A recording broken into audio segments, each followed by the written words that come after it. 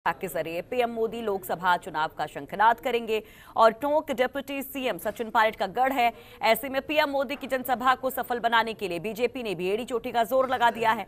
विधानसभा चुनाव के बाद प्रधानमंत्री नरेंद्र मोदी आज फिर राजस्थान आ रहे हैं।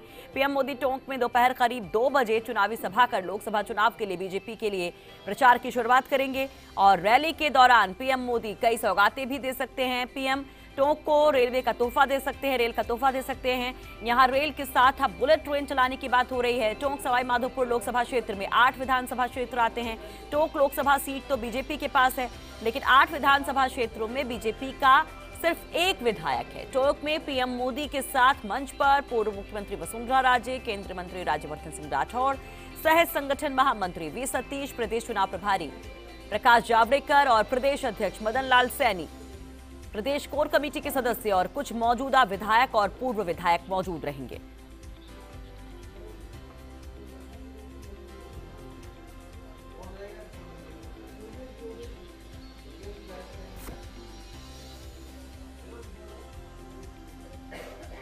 और चलिए अब आपको मिनट टू मिनट कार्यक्रम बताते हैं। प्रधानमंत्री के इस विजय संकल्प रैली के बारे में बताते हैं।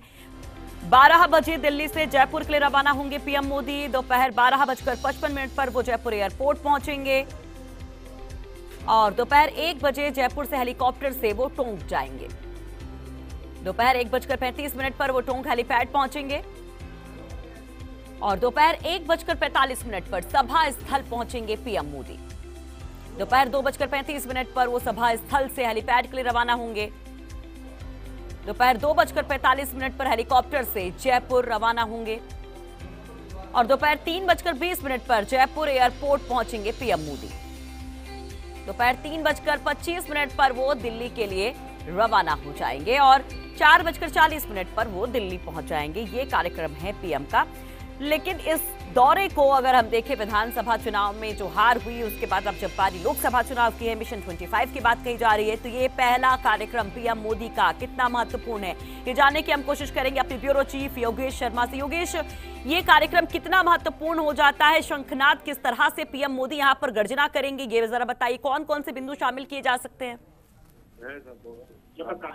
देखिए, देश में लोकसभा चुनाव को लेकर प्रचार अभियान अब अपने चरण पर पहुँचने से पहले राजस्थान में पहला दौरा देश के प्रधानमंत्री नरेंद्र मोदी का लोकसभा चुनाव के परिप्रेक्ष्य में आज से शुरू हो रहा है और टोंक से शुरुआत उनकी होगी। और टोंक से चुनावी हुंकार यहाँ पर भरेगा। और ये सबसे महत्वपूर्ण बात यह है कि राजस्थान में पहले शुरुआत में टोंक और उसके बाद चूरू में उनकी दो बड़ी सभाएँ रखी गई है। चूरू में दो दिन बाद होने वाला और आज टोंक से शुरुआत होगी। और राजस्थान की भूमि पर वर्तमान में राजस्थान में बीजेपी की सरकार अब जा चुकी है कांग्रेस की सरकार आ चुकी है। उस लिहाज से राजस्थान में क्या राजनीतिक संदेश रैली से जाना है जिसके ज़रिए राजस्थान में लोकसभा चुनाव के अंदर बीजेपी अच्छा प्रदर्शन कर सके क्योंकि यहाँ पर देखा यही जाता है कि जिसकी सरकार होती है राजस्थान में अमूमन उसी पार्टी को लीड लोकसभा चुनाव में मिलती हुई आई है। और राजस्थान इस वक्त कांग्रेस की सरकार है। पिछली बार बीजेपी की सरकार यहाँ पर थी तो लोकसभा चुनाव में पूरी 25 की 25 सीटें भारतीय जनता पार्टी ने वसुंधरा राजे ने नरेंद्र मोदी की झोली में डालकर दी थी। अब अशोक गहलोत की सरकार है।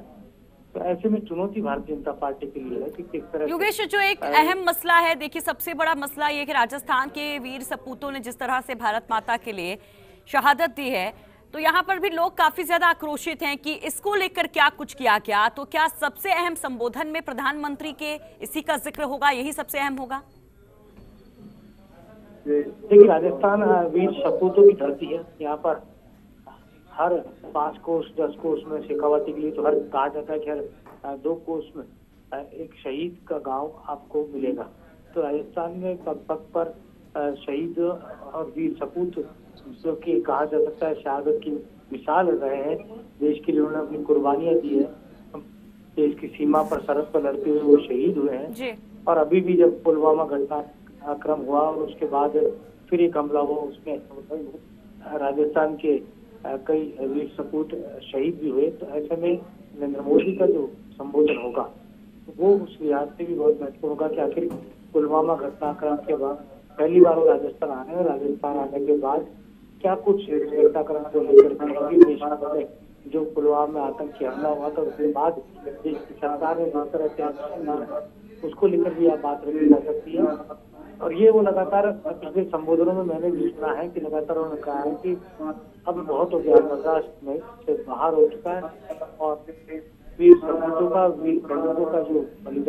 चलिए, बहुत बहुत शुक्रिया योगेश, तमाम जानकारी के लिए। हमारे ब्यूरो चीफ यहाँ पर हमें समझा रहे थे कि पीएम मोदी का ये कार्यक्रम कितना खास है, क्यों खास है? विधानसभा चुनाव में शिकस्त के बाद अब बारी लोकसभा चुनाव की है तो ये पहला कार्यक्रम है। प्रधानमंत्री का शंखनाद यहीं से हो जाएगा, चुनाव प्रचार शुरू हो जाएगा।